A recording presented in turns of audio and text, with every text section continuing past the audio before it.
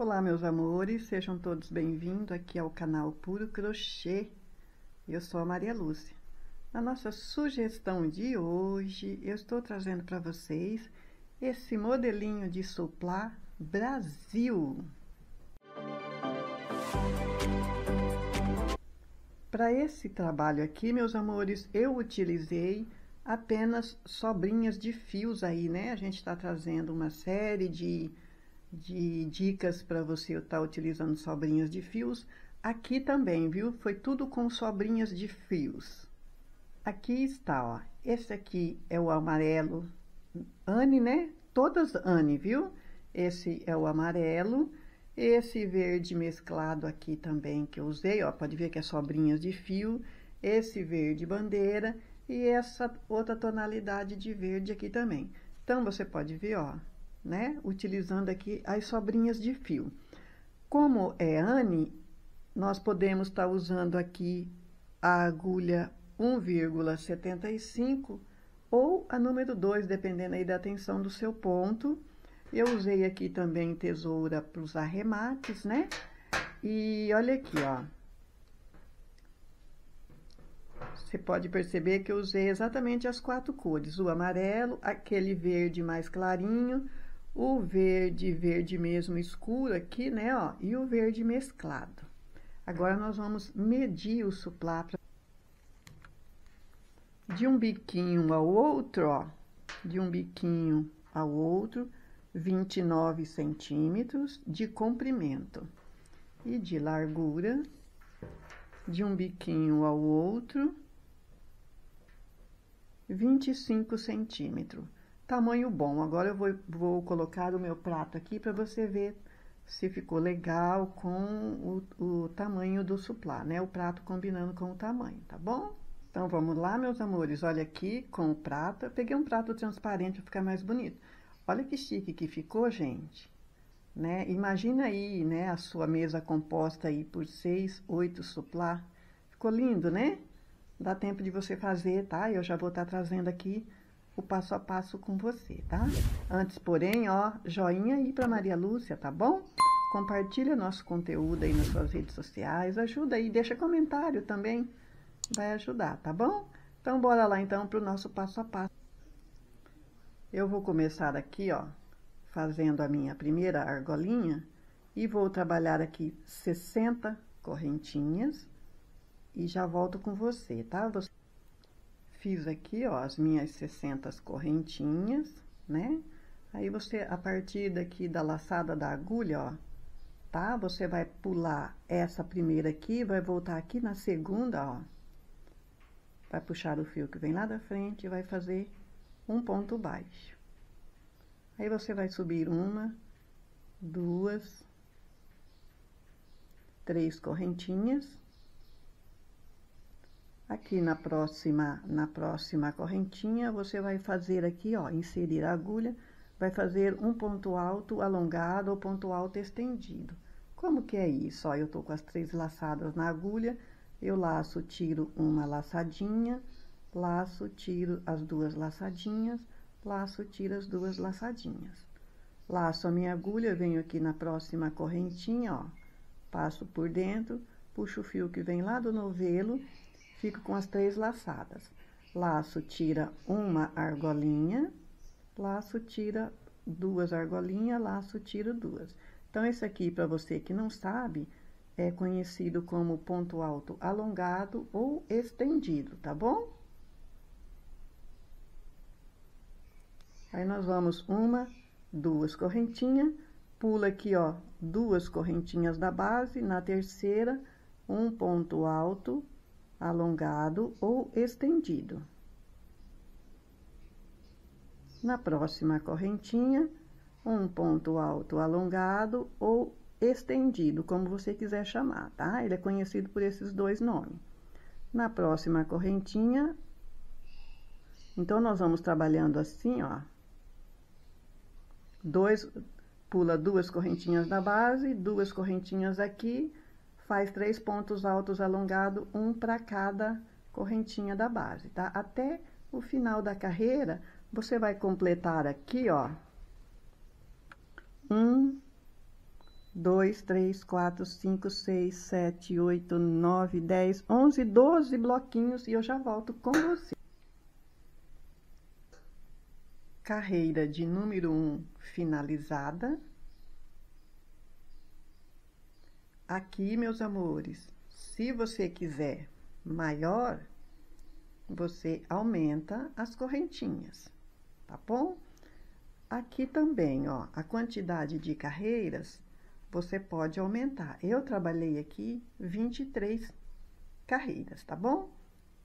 Então, vamos lá, então, para nossa segunda carreira.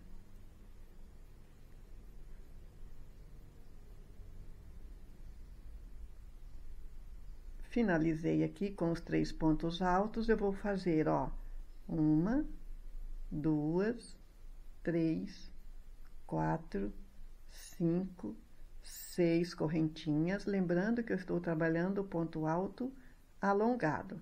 Agora, viro o meu trabalho, laço a minha agulha apenas uma vez, venho aqui nesse, nesse espaço das duas correntinhas e vou trabalhar aqui, ó, um ponto alto alongado, laço, tiro uma, laço, tiro duas, laço, tiro duas. Laço a minha agulha mais uma vez, mais um ponto alto alongado. Laço a minha agulha mais uma vez, no mesmo espaço, outro ponto alto alongado. Uma, duas correntinhas, passo aqui para o meu próximo espaço de duas correntinhas, vou trabalhar três pontos altos alongados. Dois e três. Veja, olha aqui o começo e esta carreira você segue trabalhando exatamente desta forma. uma, duas correntinhas, laço agulha apenas uma vez, venho aqui nas duas correntinhas, um ponto alto alongado. Laço agulha, dois pontos altos alongado. Presta bem atenção no ponto alto alongado. Ele é bom para quem tem o um pontinho pequeno apertadinho, viu? Olha aqui, ó. As três laçadas, laço, tiro uma, laço, tiro duas, laço, tiro duas. Então, esse é o ponto alto alongado. Então, esta carreira, você vai trabalhar assim e você vai trabalhar aí quantas carreiras você quiser fazer do seu suplá. Lembrando aqui que eu fiz as minhas 23 carreiras, tá bom?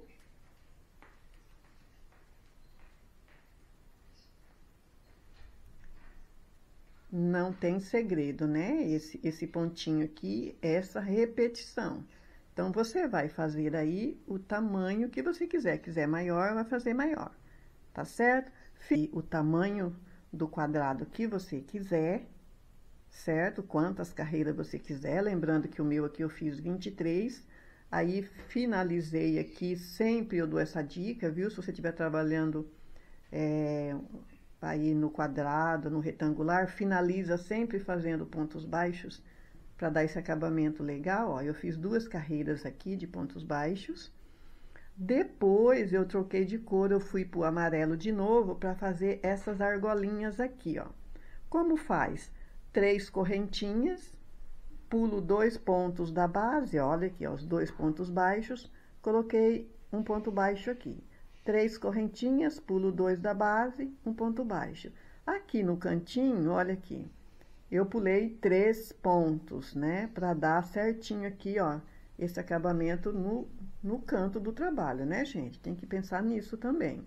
E eu continuo, olha aqui, ó, três correntinhas, pulo dois pontos da base e faço um ponto baixo. E aí, você vai fazendo essas argolas por todo o tamanho do seu supply, indiferente do tamanho que você estiver trabalhando, tá bom? Depois aqui, ó, eu falei para você que eu trabalhei o ponto alto duplo aqui, né? Porque eu tenho ponto também pequeno. Se você quiser trabalhar o ponto alto normal, eu trabalhei o duplo. Aqui também, ó, no ponto alto duplo, né? Tendo esse cuidado aqui no, no canto do trabalho, né? Porque é fácil você trabalhar nas laterais. Agora, para dar esse, esse acabamento legal aqui no cantinho, precisa estar tá fazendo esses aumentos aqui, tá? Então, aqui, ó, e aqui, em vez de você fazer três correntinhas, você faz cinco correntinhas e coloca, ó, oito pontos altos, viu? Para não ficar repuxado o seu trabalho. Aqui na lateral é normal, você coloca cinco pontos baixos, me perdoe, cinco pontos altos aqui dentro da argolinha. Aqui, aqui nos cantos, você coloca oito, tá? E vai dar certinho, viu? Você seguindo essas dicas nossas aí. Aqui no comprimento e na lateral, seis pontos altos. Aqui na curva do, né, na curvinha aqui para dar esse acabamento bonito, você coloca oito pontos altos. Depois você volta finalizando aqui com os pontinhos baixos e fazendo o picô, que é o, a parte final aí, tá bom, meus amores? Espero que você consiga fazer o seu suplá aí. Muito obrigado por você ter ficado conosco aí até o final. Não esquece de deixar o seu joinha, seus comentários aí se você gostou desse nosso Suplá Brasil. E até o nosso próximo trabalho. Bye!